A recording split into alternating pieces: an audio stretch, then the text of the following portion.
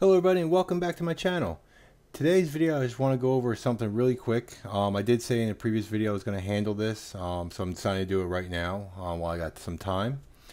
Okay, uh, we're going to actually install an SSH banner for your Linux operating system or server. Um, this also includes Raspberry Pi OS as well, so if you want to do this in your Raspberry Pi like I do, um, it's actually a cool little tool. It's a nice thing to do it. It's also a very good security measure um, or at least when it comes to prosecution of you know hackers or somebody you know trying to gain access to your servers unlawfully. Um, putting this you know actual code or technically banner in front of them, you know, it gives them the like, hey, listen, if you do do this, you know, we're going to find out and you will be prosecuted. Um, and a lot of times people kind of look the other way on that one because, hey, I can't sit there and say I didn't know whose server this was when it's clearly stated right there on a banner. So most people's SSH logins looks very similar to what you see on the screen here. But what we're going to actually do is we're going to actually change it to something that looks something like this. So let me go ahead and just make it just a wee bit bigger. So you can see when you log in, you get your pre-authentication banner. You know, you have your nice ASCII text here for authorized access only and gives you a little bit of legal information letting you know, hey, this is you know, property of a company. If you don't belong here, you know, you will be monitored for any unauthorized attempts and accesses. And if you are caught doing that, you will be prosecuted to law enforcement and so on and so forth. Um, please leave if you're not allowed, as we put it down here. So this is a nice little thing to put into it. Like I said, this doesn't stop people from logging into it. If he wants to log into it, he still can do this. But the nice thing with this, it kind of deters a few people out there who are just kind of, you know, messing with people's servers and livelihood just because they can. Um, usually, this will actually make somebody think twice about it, whether or not you're actually going to do it or not. Prosecute them. Um, it's still going to make them think, you know, twice. Now, like I said, I have this on my Raspberry Pi at home for testing purposes. So, I mean, I'm not going to prosecute anybody because one, you can't get to it. But hey, it is what it is. So it's very simple to actually do this. Um, for the most part, the banner is just written out in just straightforward, you know, text. You can use ASCII text, as you can see here, or just straight up text. And then to actually implement it is very simple. You would just copy and paste it into a banner file and just attach it to your SSH. So we're going to go over that real quickly now. Um, I currently have two uh, versions of Linux running, a Raspberry Pi one, which is what you see here, and I just installed this fresh Debian one, as you can see here. So we're actually going to, you know, pretty much turn this into this, you know, within a few minutes. And it really does take a few minutes. So let's go here and open up our Debian. So two things you want to do before you start this is one, you should go ahead and make sure it's a static IP address because this is your server and it should have a static IP. You should also make sure you're not using root. Um, because if you're watching my previous videos on SSH, we disable root every time. So root can't log in SSH even if you, you know, don't put the banner up there. Um, so it's better to actually have a separate user with sudo attached to it. So for just to give you an idea, I am lo logged in as VM Advisor. And if I type in groups and my name, as you can see here, I'm just got sudo on here. You should add a few more to the group if you needed to, but just for these video, I just want to make sure I actually do have sudo for this because you're going to need it to actually do this install. So what we're going to do here is I'm just going to open up my documents folder here to show you that there are four files. We're mainly going to work with these three here this one I'll explain at the end of the video um, what this does. This is the post authentication message. Um, but if you use like encryptions and something like that, it's really kind of useless. So what I'm trying to say here is this part you see right here, that's the post authentication. Um, you can change that, but again, as you can see here, I use an encryption and it doesn't actually put it in there because it's actually you know it automatically knows hey you're allowed to be here. You have the encryption key that connects to the server. So mainly we're just going to stick with the pre-authentication and not as much as a post. But i will show you where to edit the post at the end of the video. So let's go back here. So what i did was i went on the internet found something i really liked went ahead and edited it and i got this. So i changed a few things in here so on and so forth and we're good um, all you do is save this as a text file for later on if you want to edit or change it. Um, but what we're going to do is right now, as I'm going to take this, I'm just going to copy the whole thing. If it doesn't freeze up on me. Right here, copy. And I'm just going to close this out. So now I'm over here in my terminal. So we're just going to want to go to the first file, which is the banner file. So sudo etc ssh sshd banner.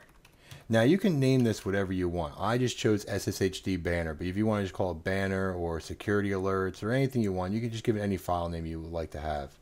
All it's going to do is it just gives it a name and where to point it to when we can edit the config file later. So hit enter. Oh, that's because I didn't tell it what I want to do. My bad. No, no. There we go. So as you can see, it's a blank file just going to go ahead and copy and paste this. And you could do this if you want with SSH. Like say you want SSH in the machine, you don't have access like I do directly to it. You can do that. Um, because what you're going to do at the end is you're just going to you know restart SSH. So you'll be kicked out of it on the, your actual server. But when you log back in, you'll be greeted with all this information. Um, but mainly, if you're using anything with SSH or doing SSH work, you should be in front of the actual server, just because in case you you know make a failed connection somewhere or do something wrong, you're not you know completely booted from it at the time. All right, so I went ahead and copied my banner here. Control X. We're going to save it. So now we're going to go ahead and we're going to edit the config file. And the editing the config file, I'll go ahead and open it up real quickly. So in here, we're going to edit two things. Um, one, because if it's a fresh install for you, we're going to disable root login because we never want root, uh, root login to actually come in which is somewhere in here. There you go. Permit root login. We're going to change this, line 32. And then down here at the banner, we're going to add this line of text. Okay. So from here, sudo nano etc ssh sshd config. All right. Now, I do recommend you doing other things to your SSH, like changing the port, adding encryption, you know, locking down clear passwords, and so on. Um, I do cover that into a previous video, so I do recommend you going back into my other videos here and look at my Debian, uh, how to secure a Debian server and how to secure Linux. Um, I'm sorry, how to secure a Raspberry Pi server. Sorry about that. So first things first, I'm going to go ahead and permit root login to no. All right, and then we're going to scroll all the way down to the bottom. All right, went a little too far, but that's okay. To where it says banner. You're going to remove the pound sign, and you're just going to type in the location of the file that we just created. And see, this is where the, the name comes in. It doesn't care what the name is as long as it is a name. So like I said, we chose SSHD banner. If you just chose banner, that's perfectly fine, but this is acceptable in any way, shape, or form. You're just letting SSH know where the banner file is located. So now we're going to go ahead and save this information. All right, and now we just got to restart SSH. So sudo systemctl system control restart SSH. Now, just to make sure that it did restart, you can do sudo system control status SSH. So there we go. We now know it's actively running and the port numbers are all good and there's no errors and we're good. Also, if you want to hit up and just go ahead and delete the word restart and type in status, you're more than welcome to as well. Alright, so now it's time to go test it out. So I'm going to minimize this. We're going to close out of both of these. Open up a new PuTTY. And I'm going to go ahead and log into it. Okay. I'm going to type in VM Advisor. And look at that.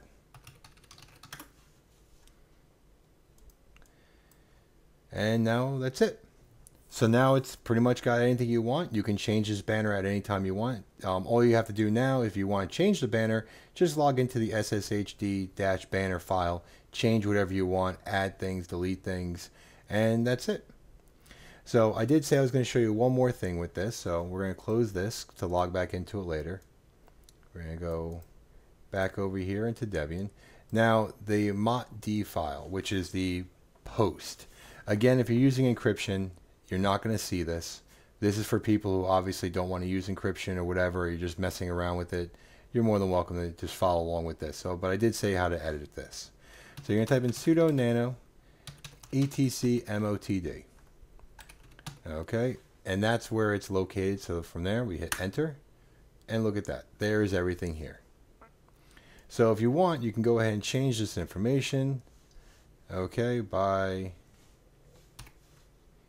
if it would just go ahead and delete for me. Just go ahead and do line by line. There we go. Okay, so now this place is empty. What I'm going to do is just type in this is not for anyone not authorized.